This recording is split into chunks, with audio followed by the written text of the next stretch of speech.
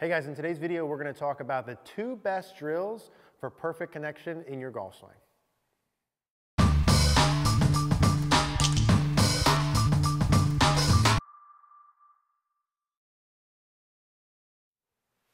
All right, guys, let's talk about my two best drills for perfect connection in your golf swing. Now, this video is really for all of you guys who want more connection in your golf swing. I have two excellent drills, the two drills that I use the most in person that will help you guys. Now, first, when we talk connection, we have to talk about why you would get disconnected in the first place. Now, when we talk about disconnection in the golf swing, to me, almost all of it really stems from a lack of body motion. So when I see a lot of players get disconnected during the backswing, meaning arms away from their body, when I see a lot of players get disconnected, meaning their elbows separating during the backswing or forward swing, I can almost always take that back to a root cause of they simply don't turn on either side. That's probably 80, 90% of it. They don't turn. Even if you feel like you turn enough, most people who are disconnected do not turn and or use their body properly, turning and tilting. What I want to focus on today is the turn part first. And what I'll always start someone out with when I'm having them start to learn how to connected and how to use their body is a Tour Striker Smart Ball.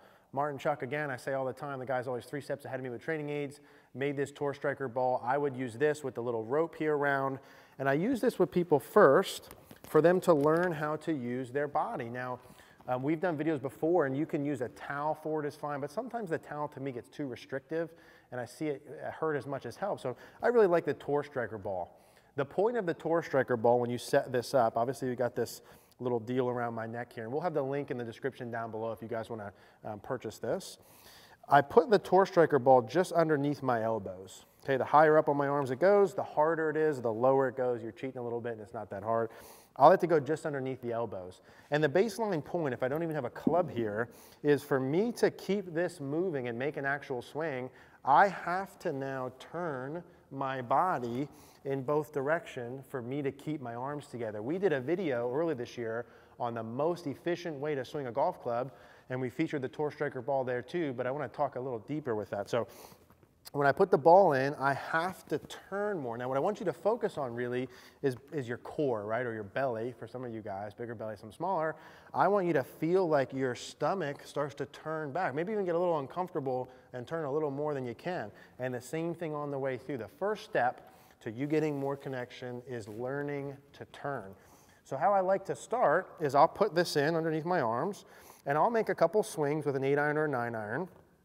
And I'm just getting a sense of my body turning back and body turning through. Now notice, excuse me, when I'm doing this, I'm going about half swings and I'm going about half speed. And a lot of you guys are gonna put this in and be like, oh, that's all I can go. No, you can only go there because you didn't turn at all, okay? Keep your hips turning, keep your stomach turning, keep your shoulders turning, and then you can get some more length there in the backswing. And then I would start to hit with it, and I would start short. Got an eight iron that I'd probably hit about 100 yards, halfway back, halfway through. And again, I'm feeling the turn. And what is the turn doing this is it's keeping me connected. Now this part of it is keeping me connected with my elbows staying close together, but it's also gonna keep me connected in terms of my arms and my body and keep my arms in front of my body. So if I'm gonna do that same thing, grab a feel here, halfway back, halfway through, and turn my body. For me, that feels like I need to make a little bit more of a turn during the backswing for me to be able to do this. So just get a feel for that. As always, when I'm doing this, I'm checking this with a live view. I'm checking this with a video, a mirror to confirm my feels. Getting some belly turn going back, keeping my elbows close together. And then I'm starting to hit. Now, the connection with this obviously keeps my elbows close together. And the benefit of that is really keeping my arms, know, it's gonna be overly simplistic, but basically keeping my arms in front of my chest for the whole swing is kind of the dumbed down version of this. So if I keep my arms together, my elbows close, my arms stay in front of my body during my entire swing. If I make a swing and this falls apart, my arms can get stuck behind my body or they can go too far out and up in this direction. So this is where I like to start people, the Tour Striker ball. At minimum, when you guys practice, if you follow our perfect practice routine, you know that I always suggest there be a portion of your practice that's mechanical, usually the second portion of it. Even for those of you that like your swing, you notice a lot of tour players using that tour striker. You can use it just as regular maintenance practice, right? Even though your swing might be good, can it be better with that? Can it be more connected? Can you be tighter? Can you hit your short arms closer to the hole? Can your distance control get a little bit better? Probably can, right? So I would recommend that tour striker for most everybody unless you like to be a little bit separate at the top. So that's part number one, drill number one, more connected. Drill number two, all you need is an alignment rod, probably a couple cents at your local hardware store type of deal. And what you do with this, and I've seen people do this for a while, and this is not an Eric drill, but you put the alignment rod underneath your trail arm or your right arm, right underneath your armpit. And I put it where the majority of the stick is sticking in the front part, and this is a connection drill, and it's really two-part connection.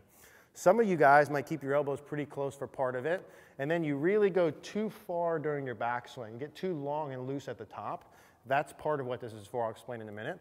And it's also to keep your right armpit close to your body. Okay, when you swing, to have connection, if I keep my armpit and my upper arm close to my body, it really forces me to turn my right shoulder through. You guys know, like, or know that I like that, and continues to turn the rotation. Really good for what?